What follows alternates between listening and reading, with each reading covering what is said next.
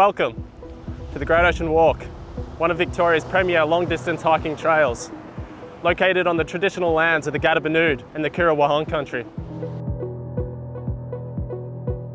Nyadamwa, welcome, hello. My name is Billy Briggs. I'd like to pay my respects to the elders of this country of the Gadubanud, of both past, present and emerging. This country is important to us because we as Aboriginal people relate to it by listening and hearing and smelling and understanding the signs that country will throw at you. As you're walking along the Great Ocean Walk, think about who walked before you on this land for thousands of years. Think about the importance of what this country means to us as Aboriginal people and to everyone.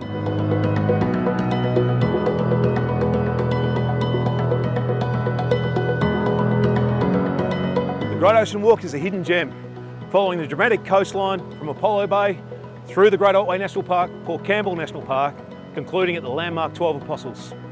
Many people are familiar with the Great Ocean Road, but the Great Ocean Walk offers a completely different perspective and takes you places the road doesn't.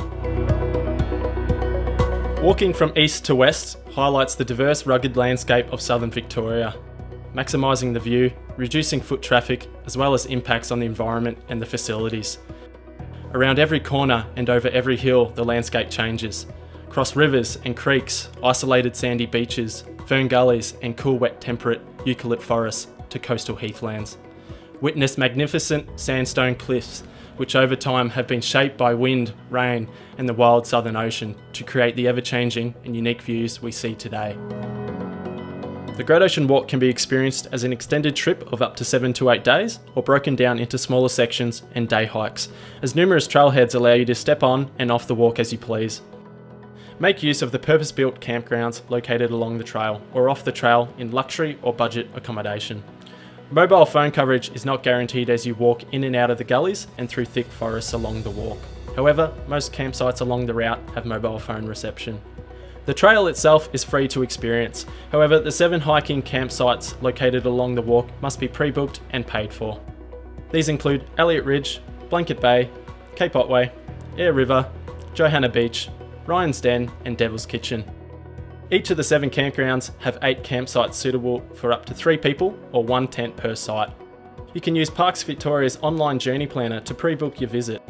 The journey planner provides further information about how long it should take trail guides, and distances between campgrounds, including terrain and what to expect, and additional options to extend your walk.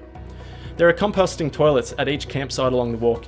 If you prefer to opt for comfortable accommodation nearby, visit greatoceanroad.org.au for details. One of the best ways to experience the Great Ocean Walk is with a licensed tour operator. There are over 20 operators to choose from who are ready to help you explore and discover this magnificent coastline. Booking a licensed tour operator gives you the confidence you need to make the most of your experience. Tour operators offer a range of services for walkers, including guided tours, transport, camping equipment hire, safety devices, food provision, and more. They do all the hard work for you by planning and preparing your visit so you can enjoy your nature based adventure to the full. Visit Parks Victoria's website to find a Great Ocean Walk tour operator today. When experiencing the Great Ocean Walk, the most important thing to do is plan ahead. This will help you prepare for quick and dramatic changes in weather conditions, tidal movements, large waves, and hidden dangers. Some beaches may be affected by the ocean tides. The best time to walk along the coastline is at low tide and when the sea is calm. Some beach walks are not accessible at high tide or during poor weather conditions. Alternate inland tracks are a safer option during these times. Sign markers are positioned along the walk to alert you of approaching beach walks and to remind you to check tidal conditions before hitting the sand. Beach walking access and alternate inland tracks are marked on the Great Ocean Walk map, which can be collected from a local visitor information centre before you begin. Safety devices such as safety beacons are recommended and are used to alert emergency services and provide GPS tracking. These can also be hired from licensed tour operators. Bushfire safety preparedness is your responsibility, Please ensure you download the Vic Emergency app and check conditions daily, particularly on total fireban days. If you're unsure, please use a licensed tour operator to ensure you have the best and safest experience. One of the many joys of the Great Ocean Walk is sharing the track with native wildlife such as wallabies, kangaroos, echidnas, bandicoots, lizards and snakes. It's important to keep wildlife wild, so please give them space and do not feed them. Help look after these special places. To minimise your impact, keep deformed tracks, take your rubbish with you, including food scraps, so you don't harm the wildlife and the environment. Please use the footbaths provided to clean down your shoes and equipment, such as walking poles in between sections, to avoid plant pathogens being spread across the landscape.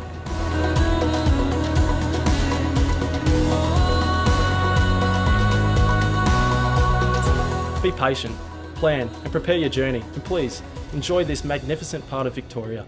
For more information, visit Parks Victoria's website to find your next adventure today.